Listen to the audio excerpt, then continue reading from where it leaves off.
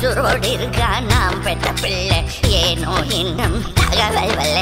வானத்திலேந்து வந்து உதிப்பா சொன்னா கேளுங்க அசடுகளே ஆராவமுதா அழகா வாடா உடனே